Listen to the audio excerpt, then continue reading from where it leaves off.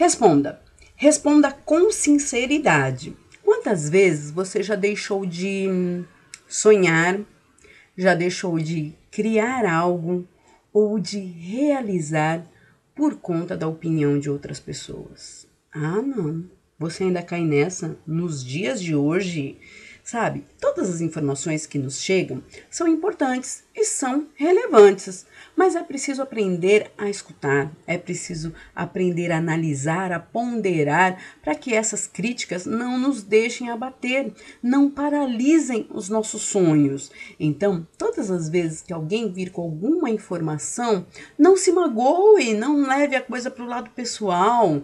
Às vezes pode realmente ser uma informação útil, às vezes pode ser uma informação invejosa. Bom, o importante é saber seguir os seus sonhos, é acreditar em você, no seu potencial.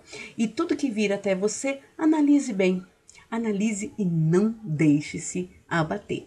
Essa é minha dica de hoje. Eu sou Débora Martins. Um forte abraço e até a próxima.